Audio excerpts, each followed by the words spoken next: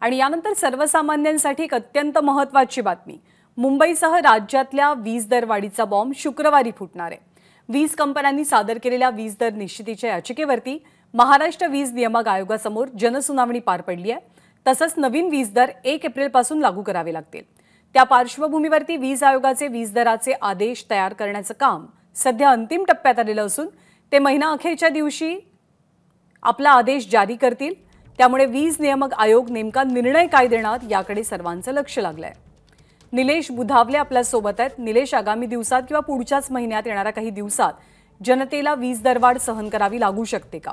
अ, नंदा खरं तर ज्यावेळेस विधानसभेचं अधिवेशन पार पडलं त्यावेळेस विधान परिषदेमध्ये बोलताना उपमुख्यमंत्री देवेंद्र फडणवीस यांना स्पष्ट केलं होतं की वीज दरवाढ जी आहे ती आम्ही करणार नाही आहे सध्याच्या काही बातम्या सुरू आहेत त्या बातम्यांमध्ये तथ्य नाही असं देखील त्यांना स्पष्ट केलं होतं.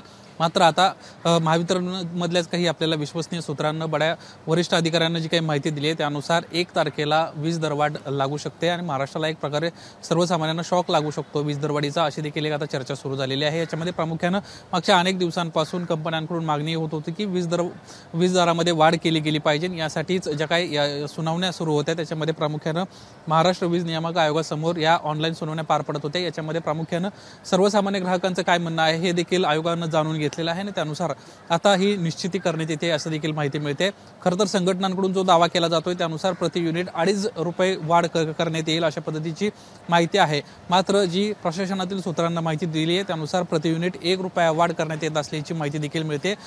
जे काही कंपन्यांना मागणी केली होती याच्यामध्ये साधारणपणे टाटा पॉवरनं दहा ते पंधरा टक्के वाढी संदर्भामध्ये त्यांचा प्रस्ताव होता आणि तो कुठेतरी मंजूर होतोय असं देखील आपल्याला समोर समोर समजतंय. त्यानुसार मुंबईमध्ये जे मुंबईला वीज वितरण करणारे जे अदानी पॉवर आहे यांच्याकडे देखील दरवाढीचा प्रस्ताव होता आणि या प्रस्तावावर आता कुठेतरी एक पॉझिटिव्ह निर्णय होतोय आणि एक तारखेपासून सर्वसामान्यांना वीज दरवाढीचा झटका लागण्याची शक्यता आहे. धन्यवाद निलेश या सगळ्या माहितीबद्दल.